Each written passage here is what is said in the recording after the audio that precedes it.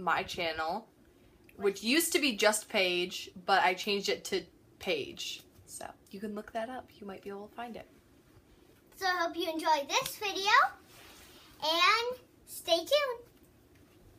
So we're back and we're gonna do opening our book bags and all that. So wanna get to it? I would, but before we get into it, I would like to say that this video is really good for anybody from Lauryn's age who's going to be going into elementary school. You know, what grades would you say your school supplies are good for? Um, at least third, second, and first. So, first, second, third graders, any age category, we're doing some hand motions. Any ages between those would be good for Lauryn's backpack. My backpack is good for any middle schoolers or new high schoolers. I'm going into my freshman year in high school, so yeah, that's where I would be aiming my age group of my backpack towards. So let's get started. Okay, so we have our backpacks, and I'm going to show you mine. Mine is from a Broadway musical, and I'm happy I got it because I couldn't find a book bag I like. Ta-da! And the zippers are so cute. Look at them. Look at the little zippers. so now, Paige, what's yours? My backpack is the North Face Recon. It's supposed to be a laptop bag, but it's I think just right for high schoolers or middle schoolers. And then I have a little puffy keychain on And here. And then this is perfect for really like soft. third or fourth graders. her backpack is. My backpack's good for, as I said, middle schoolers. This would be good through all through high school, all four years.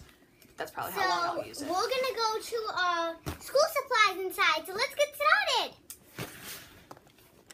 Okay, we have a book bags. We are gonna go back and forth, starting with our front pocket, and I'm gonna go first. So my front pocket is kind of the wicked face and wicked on it, and I'm just gonna open that, and I'm gonna see what I want to show first.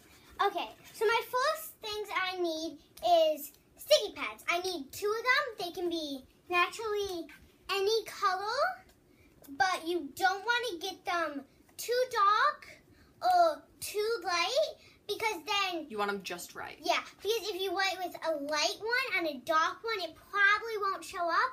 And then a dark one with a light one, it probably won't show up. So if you do just right, like mine, they'll show up with any. So that's what I have first. Okay, so I'm gonna open my front pocket, and I guess first I'll show. I'll show my ID first because this is essential for any high schooler or middle schooler. Let me just make sure I'm covering everything. Um, let me just. How do I do this? Okay, I'm gonna go like this. That's my that's my face. I'm covering up my last name and my school name and all that. But um, when you're in high school and middle school, you're gonna get an ID and you have to take care of it because it's essential for a lot of different things. So that's the first thing I'm showing. Okay, now I'm going to show my next things.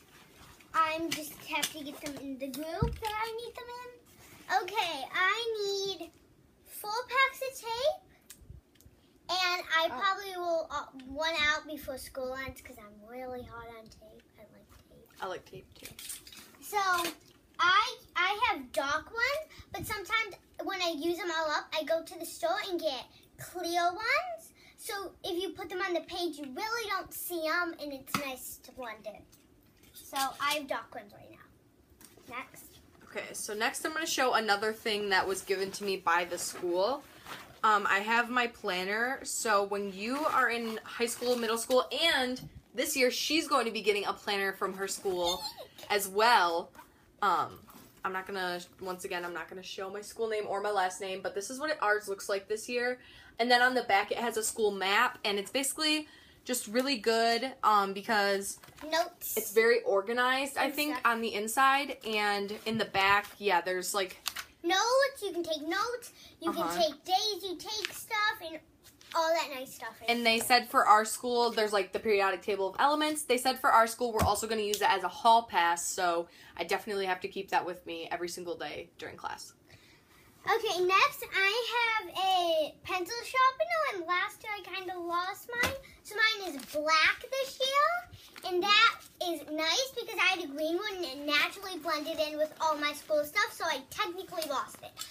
All my school stuff is pink, blue, and purple because those are my colors I like to use because I always want different colors every year.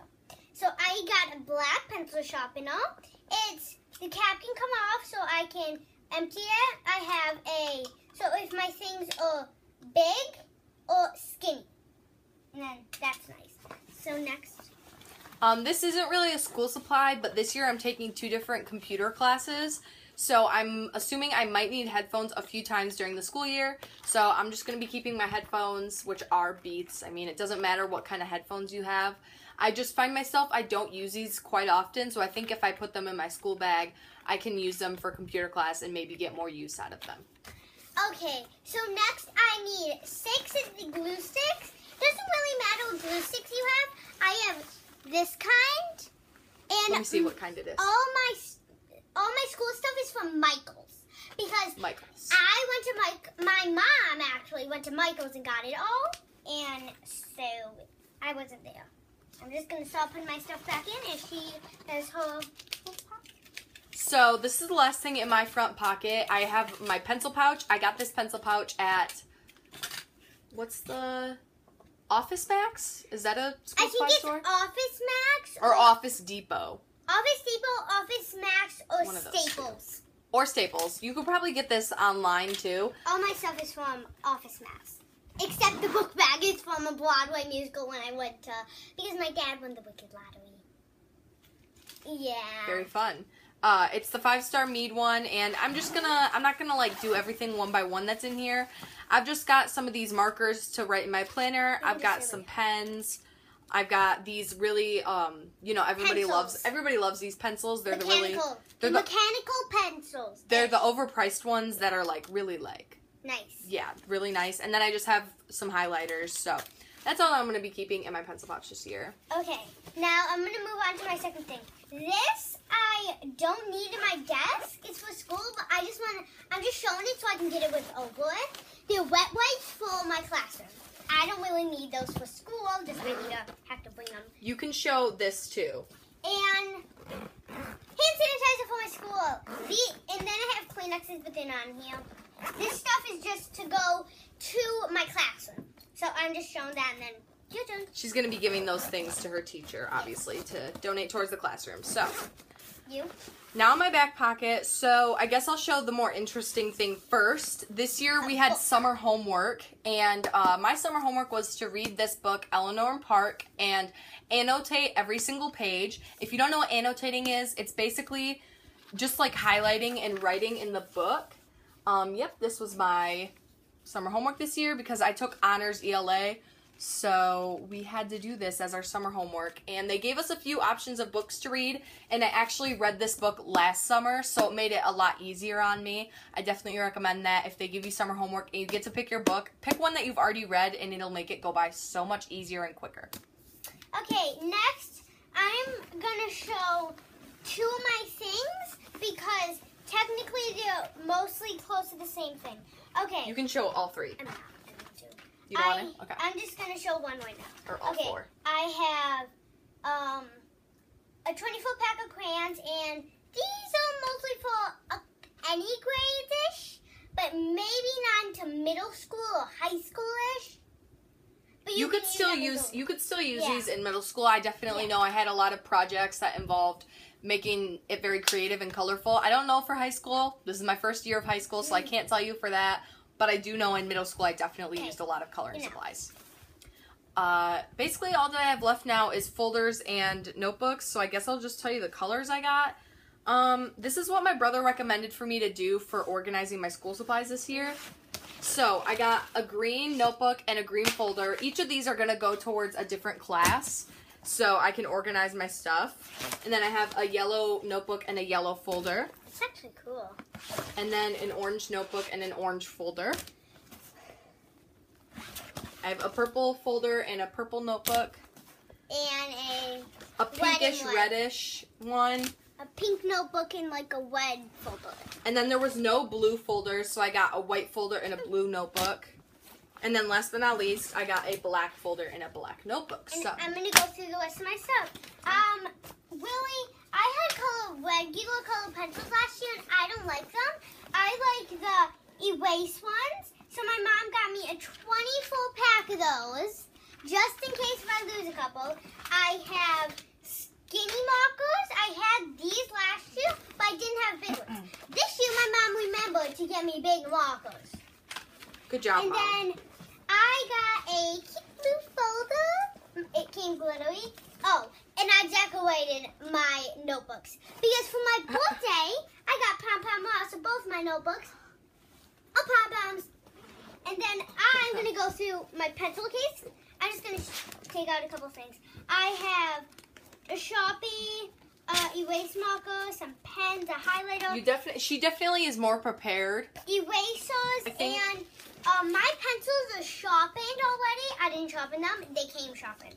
So I'm pretty cool about that. And She's pretty cool about and that. And then I have these erasers, and then I have regular erasers. So Is that all your school supplies? that's all my school supplies I have, and that's.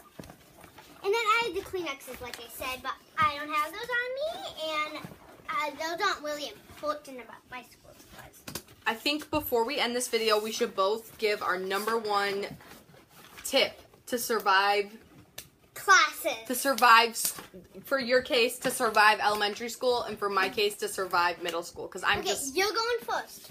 you want me to go first Yeah, I saw my stuff. um okay well my stuff's all put away so i guess i'm going first uh i'm gonna have to think for a minute because there are so many things that i've learned being through three years of middle school do you know yours because you finished Okay, well, I've been only three classes in elementary school. This will be my fourth class, third grade.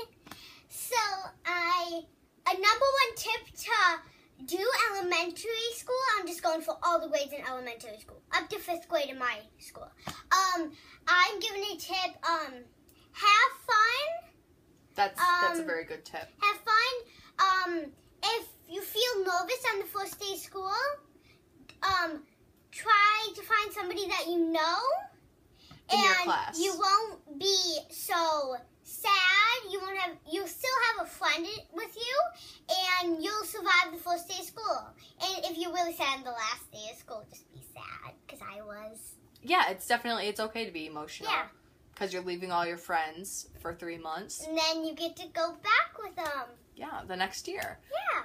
I guess uh, I have two pieces of advice. My first one is to not give up. I definitely recommend not to let the pressure of middle school because it's a lot different from elementary school. I wouldn't let it get to you. Study hard, even if you think it's not necessary because it doesn't mean anything. People think middle school doesn't mean anything, but I think every school means something and definitely try your hardest. Give it your all. It's all or nothing in school. You can't just go halfway. You have to go all the way with projects and all that. And then my second piece of advice is to not let anybody else's opinions of you get to you.